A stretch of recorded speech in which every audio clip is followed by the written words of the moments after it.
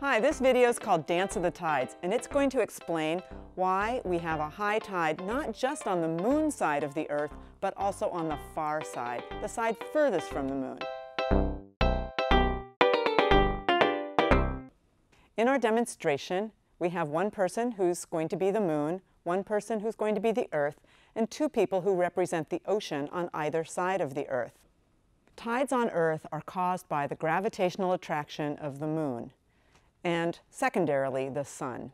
The water on the moon side of the earth is going to be the most attracted and pulled the most toward the moon.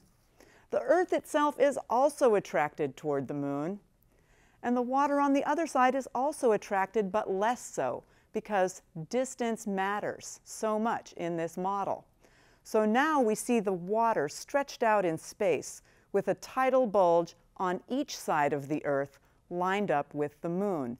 So when our Earth rotates through 24 hours, we get a high tide on the moon side of the Earth, a low tide about six hours later, another high tide, and then six hours later, another low tide.